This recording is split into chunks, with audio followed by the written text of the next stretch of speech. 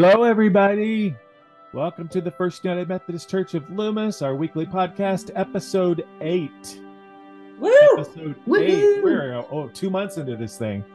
And we do this every week to communicate and reach out and tell you all fabulous people what we're doing at Loomis United Methodist Church because we do have such an amazing church. And this week we have Allison Berry, our beloved pastor, down at the bottom little square there. Say hi, Allison. Wave. Hello. Hi. And we have Melanie Oliver, our Christian education Our director beloved. associate pastor. And yes, I am a little loopy. I am on pain meds.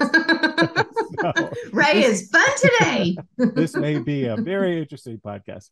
So I'm still dealing with my shingles, um, but I made it to choir rehearsal last night, and the pain meds are wonderful. I highly recommend them if you need.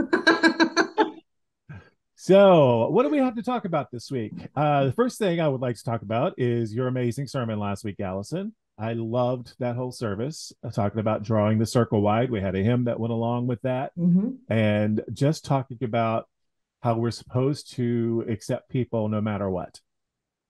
We are all God's children. We have to honor them. We have to respect them. We have to love them. That's just the way. Darn is. it. I know it. As much as we don't want to sometimes, as hard as it is these days, sometimes we have to do it. And I've been trying to put that into practice more this week, even though sometimes this week my patience has been thin because I have been in pain. So Yeah. it's it's a That very hard lesson hard. to learn. Yes. yeah. But I wanted to thank you for that wonderful sermon. I thought the service was great. I love the choir anthem. Do not be Yes. afraid. Mhm. Beautiful Yes. song. Beautiful Mhm. song.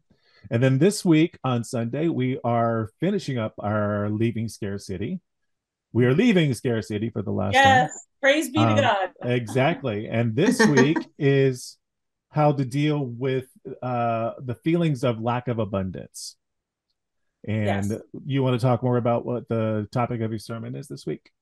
Well, it's about looking in in our lives for those places of abundance where we felt God's presence. And we're going to ask people to reflect on that during worship and to write down those feelings on butcher paper that's going to be at the back of the sanctuary by the audio visual booth. Mhm. and simply yeah just where in our lives do we feel god's presence and god's abundance? That's it. Awesome. simple I'm looking Mhm. forward to it because uh, we have talked. This this series has been full of anxiety and fear, talking about Yes. it constantly. So I'm looking forward to finishing this up. what are you feeling anxious are you feeling afraid Well, I've been anxious for two and a half years, quite frankly. Yes. right. Me.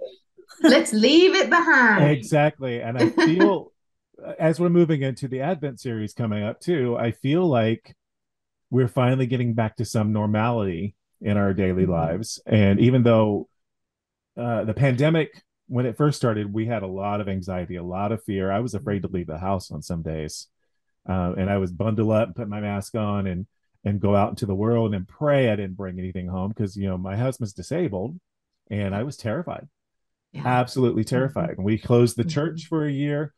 It's like the last two and a half years have been full of anxiety.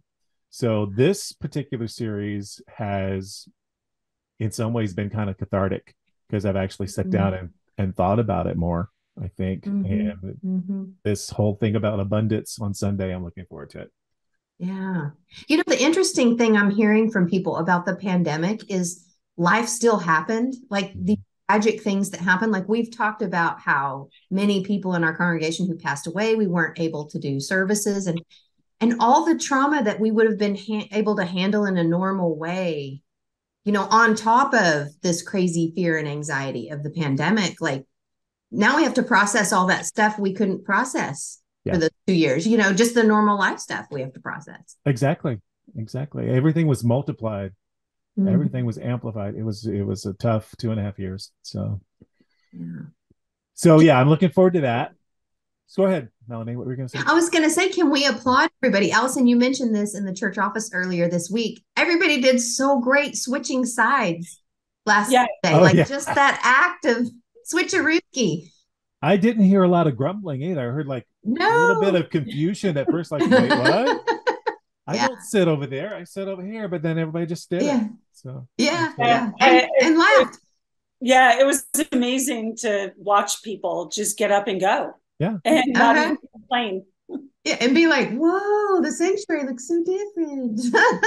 And it was weird having Allison on the other side of the church to preach. yeah. And I was like, Uh-huh. what why is why is she so close? What's going Why on? is she in your space? Yeah. She's gonna sing with you. yeah. Well, no, I'm not singing with Ray. Trust me on that. I am not singing. But it was great to, you know, look out and see different people. And it was Mhm. disorienting because I was looking for like the same people and oh, they're not there. Yeah. Yeah, yeah. Mhm. Oh, and speaking of singing, we had our first cantata rehearsal last night, and we had Oh. folks from the uh, Latter Day Saints Church join us, Excellent. and they sounded amazing, absolutely amazing. Yay. It lifted my spirit, even though I was I, I was in a little bit more pain than normal the last two days. I was telling you guys earlier. Um, I I started on ac real pain meds on Wednesday, and Mhm. I've not been doing that this last two weeks, but it kind of kicked in on Wednesday. And I was sitting there not on any pain meds at the church because I had to drive home. And just hearing them sing, it was it was angelic. It was, it was wonderful. So That's awesome. yeah. So I've Now- missed those folks too. What what are you gonna do for the cantata? What Uh, what cantata are we doing? Yeah. Uh, we're doing Night of the Father's Love. I think we did it in 2018 or 2019. Okay. 2018, I think. Mhm. um and it's just a beautiful piece it's written by pepper choplin and um yeah it, it- just listening to those songs and having everything come back to us and we kind of went through it the entire cantata last night we sang all eight pieces Oh wow. excellent. and we just sang through it to get it back in our heads and people were as we were running through it it was coming back to people it was starting to sound really good so Good. yeah um what's happening with the youth this week melanie The youth, okay. Um, in our middle school class, faith exploration on Sunday morning, we're talking about heaven and hell. It's Halloweeny. Um, they asked to talk about that, um, about the afterlife, about um, the Methodist understanding of heaven and hell, and and why other denominations and other religions think differently. We're just going to kind of explore all of that, and um, uh, I love with these kids exploring these open-ended questions that we may or may not have an answer to, and kind of see, you know, where they go with it. So um, I'm excited to do that with them this Sunday. Uh, and then, of course, are we ready to talk about trunk or treat? go ahead I have 19 cars. You know, I've wanted 20 cars for trunk or treat. I have 19. All right, we can do one more, people. If you're watching Mhm. this today, we need one more car. Come on, just one more. One more car. And somebody asked me earlier this week who's doing a trunk, they said, How much candy should we bring? And I have no idea. We might have 10 people, we might have a thousand. Um, I've put the word out in the Loomis community. I've invited the preschool that operates through our church, of course, the kids at our church, grandkids of people at our church. So I'm hoping for a lot. I don't know. Just bring all your candy. Yeah. Hey, can I bring my bicycle on top of? I have a car. Like my car's going to come, but can I set up my my bicycle? Will that Yes. be okay? Yes. Okay. This has nothing to do with you, Allison, but that reminds me of the Wicked Witch in um in Wizard of Oz. Oh yes, Right. Right. no, that, that has everything to do with me. I'll be crazy cat lady, wicked witch on my bicycle. I love it. There you go. Um, what else we got going on? We have a lot of announcements to get through today. Um, we talked about trunk or treat. Um, we do have the upcoming concert uh two Mhm. weeks from is that two weeks from today? Yes. Friday? Yeah, Friday the 4th, 7 p.m. Winds of Faith. It's the Veterans Day concert. And I wish I could be here for it. I am leaving that day to go out of town for early birthday. Um, Do you know where yet? no, I Okay. so Still a surprise? I It's a talked to mystery. I yeah, they sent it's called the Magic Mystical Diva Tour. Um, I love it. but I was told to bring everything from beach wear to uh a like formal wear to go out to a nice dinner. So Fun. I'm I'm like, thinking okay. Mendocino. Could be. It's Oh, they, and that said could it's be a good about a one. three hour drive. So it's Three-hour three-hour drive? Yeah. Oh, that could be also Monterey, Yeah. Yeah, it could be Santa Cruz. Santa Cruz. So we'll see. Um I all I know is we're gonna have fun, fun, fun until daddy takes the T bird away. So Um, what else we got going on? We've got uh Founders Day coming up a week from Sunday on the Mhm. 30th with our special guest, Ida. Yes, Ida Inoue. Takagishi in Inoue, and she will be sharing memories of the church and just talking about the importance of First United Methodist Church of Loomis in her life and in the lives of so many. So I think it'll be a little bit of history, a little bit of celebrating her. She's over 100 years old. Yeah. She'll be 101 in November, I heard. Yes, Yeah. I'm looking forward So to cool. that. I really am looking forward Mhm. to that. I am too. She's more alert than I am, and that's not saying, well, that's not saying much for me. but she's definitely an amazing, amazing, um, just sweet spirit, kind, Mhm. um, sharp, bright. I- It's Mhm. going to be a lot of fun. Uh, um, and yeah, when you and I need to talk too, because I'm starting to put together the script for that Sunday, and I I need to know what order we're going to do things in. So, Mhm. Um, I've already picked music, so I'm looking forward to that Sunday. Oh, and I did want to while we're talking about music, really quick, we have a new drummer. If Yes. you guys noticed on Yeah. Sunday, Greg. He was amazing. He was great. Yeah. So he is. Uh, we emailed him this week and said, uh, "We hope you're planning to come back. We'd love to have you." He's a new beginning drummer. He's only started drumming No during the way. pandemic. Yeah. He And, um, sounded so good. Sunday He was. Sunday was the first time he has ever played drums in public. Oh my gosh. So yeah, we he really was enjoyed having amazing. Um, he is a friend of Damien's from work. They've known each other for years, and he told me this week he'll be back every Sunday. Oh, wonderful. Yeah. So um, yeah, looking forward to having Yay, him Damien. us. Yes. And he was excited when he found out about the history of our church. Yeah, yeah, So that was really appealing to him. good. Um, so yeah, we have him coming back, and uh, that means I'll get uh, be able to play keyboards and sing. Damien can play uh, bass guitar, and then once um, Jerry well, uh, Jerry Bretnall comes back, I'll be able to play the guitar and play bass, and Damien can go to real guitar, and we'll actually have a little four piece band going on. So, Excellent. Fun. um, what else we got going on? The Crop Hunger Walk that is this Sunday, October twenty third. Starts uh, registration starts at 1.30 and the walk starts at two. So that's happening, and then we're trying to meet our goal of two thousand dollars this year. Do we know Uh, where we are in that goal? I have no idea. It's not it's not noted, so I haven't Mhm. heard. Um, what else we got going on? Oh, veterans video. Uh, Christy Olson sent me an email last night. Said please announce that the veterans video is now being pushed to November thirteenth because of all the activities going on on November sixth. Um, between All Saints Sunday and we've got communion that day and we've got the charge Oh, conference that day. Um, so Mhm. we're we're moving the veterans video until the 13th. And our ukulele group. Are we moving It's that too? gonna- yeah, it's going to be kind of um, a meet and greet. So learn a few chords, gather, figure out. Our hope is to be able to perform. So we'll see. Okay. That's our goal. Perform one Sunday. Um, what else? We had the trunk or treat. Um, oh, we talked about the Veterans Day concert. Uh, Tonga mission trip. Um, Allison, do you want to bring that up and talk about where we are with that? I saw a bunch of stuff in the choir room last night when I was at the church. that's Yes. going for the stuff, and I know you've been buying a lot of stuff for the trip. What's going on? Yes, so we bought playground equipment, so two different sets of playground equipment Cool. that will be delivered to Oakland. Uh, they are in need of backpacks, children's backpacks. Oh, okay. So Kathy Cove has been gathering school supplies. We have lots of school supplies. We've been getting tools. They, uh, we have uh, four iPads and a desktop computer. So we still need computers, but definitely backpacks. Okay. Do you mean like school backpacks? School backpacks, children. Okay. Yeah. Children size? Yeah. Okay. I'll put the word out for that. Okay, great. Um, there's also an early response team training come up on uh, Saturday and Sunday, November 5th and 6th from 1 to 5 p.m. And the cost for that is $15 per person. Um,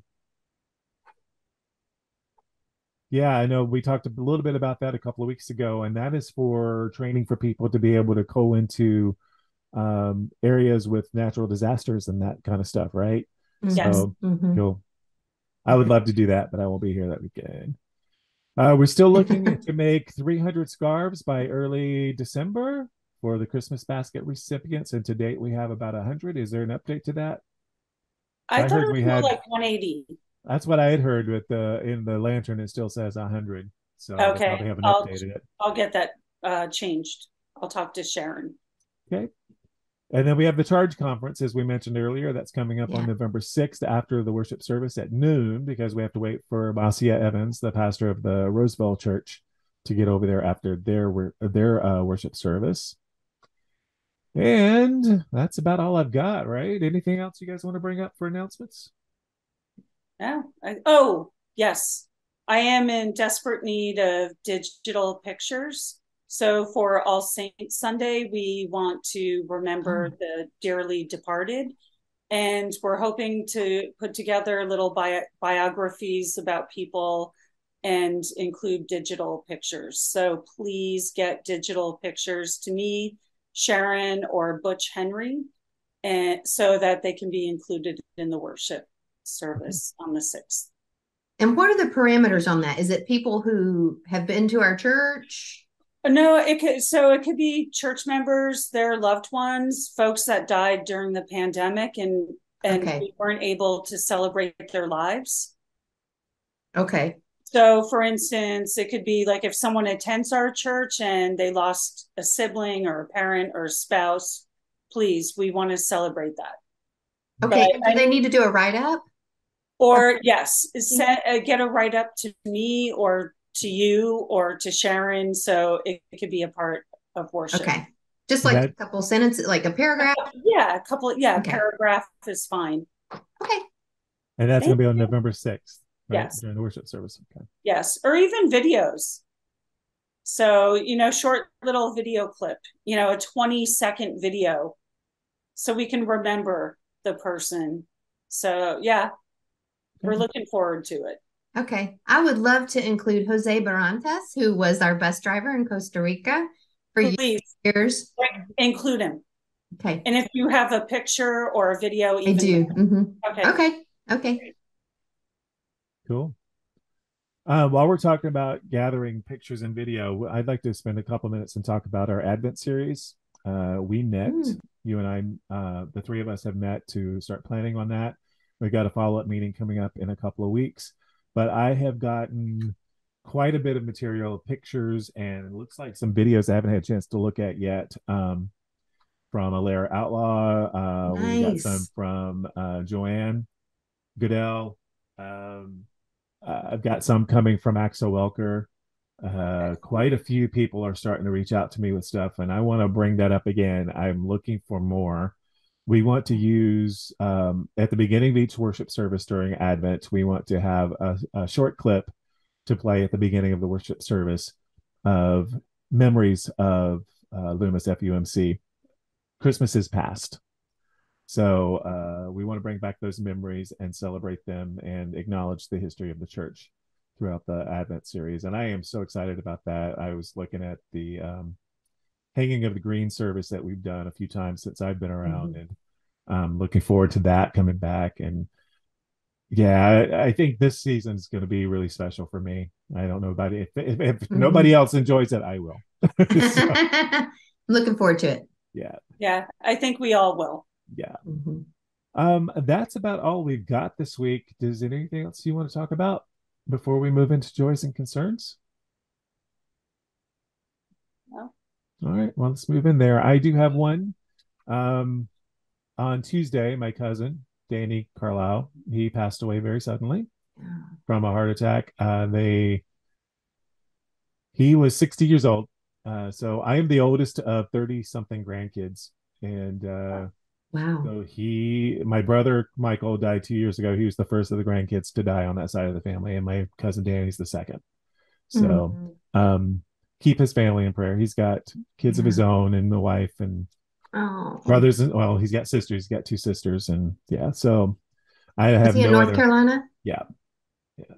And I have no other idea of what's going on as far as the service yet. I haven't talked to his sister since they called to tell me that he had passed. So just keep the family in your prayers. Um, Sorry. Bob Ransford lost his sister Rhea this week, Mhm. Yeah. and um, those were the joys of or the prayers of sorrow that we had. Uh, we do have some joys. Uh, Pat and Ray Brown's granddaughter recently had successful emergency surgery. I don't know anything else about that, just that it was it went well. Uh, Lila Sis- Sasaki had a birthday, and Polly Dye has a new great granddaughter, Cora Rose. I had lunch with Polly on Sunday after church, so Nice. Yeah, Polly Polly showed us pictures and she said, of course, it's the most beautiful great The grandbaby. beautiful, course. Of course it is. well, if it's related to if the baby's related to Polly, it's beautiful. Yeah. That is Um, true. True. Beautiful Uh, spirit. Yeah. And Circle of Life, my my niece Haley Brooke is having a little girl. We found out she was pregnant a couple months ago, and that she got the results of her ultrasound this week. She's having a baby girl. So in Aw. March. and my mom's birthday was in March, so I'm hoping it's gonna be around that day. Oh, nice. Um, other concerns. Ray Brown is having um ablation surgery. Is that today? That's today. Yeah. So they're in San Mm. Francisco. Um, Okay. Okay. Uh, Liz Winsward's 86 year old father with dementia is still missing. I know that's been going on Oh. for a couple of weeks. So keep them in prayer. Yeah. I talked to her on Sunday briefly, and I just, I, it, you don't know what to say to some people over that kind of stuff. I Mhm. just told her I love her, and you're in my prayers.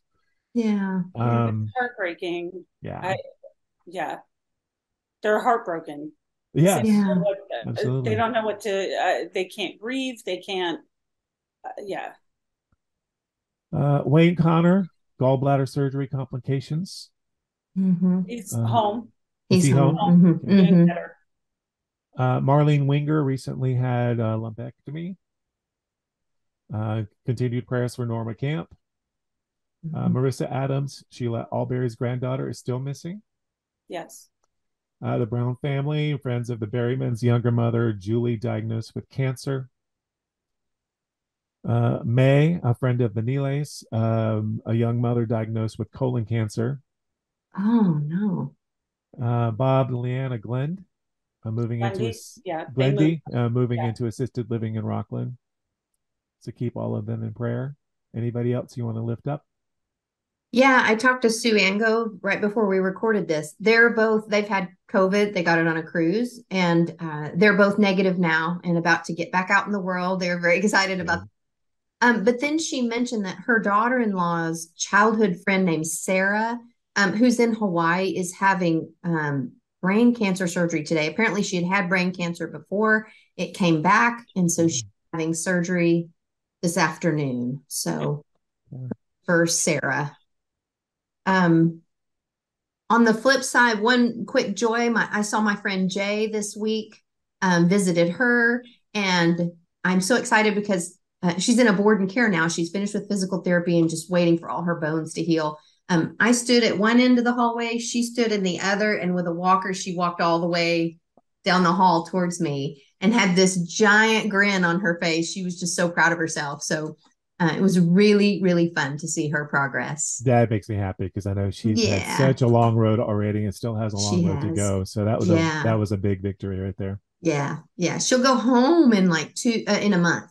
Middle Okay. November, she'll be home, like expected to be independent. Oh, That's wow. amazing. Good. Amazing. It is. It That is is amazing. story. Yeah, and it was bizarre when we were talking. Like she can not remember any of her hospital stay, which was weeks and weeks and weeks. And she was telling me stuff, and I was like, "Yeah, I was like, I, I was there for. Yeah, I was in on that conversation." She goes, "What? You were?" like she doesn't remember any of it. Any of it. Yes. Wow. A lot of that is defensive mechanism when you Yeah. experience a trauma like that. So it's probably a blessing that she Yeah. doesn't remember anything. Yeah, I told her, I said, when you do, you're going to need a therapist sitting right Yes. beside you. Yep. Allison, do you have anybody you want to lift up? No, I think you've covered everything that was uh, brought to our attention at church. Yeah. Well, glad to have you back in your own place this week because your your your internet was a little bit spotty last week. So- Yeah, it was shaky. yeah. So, do you want to lead us in prayer this week? Absolutely.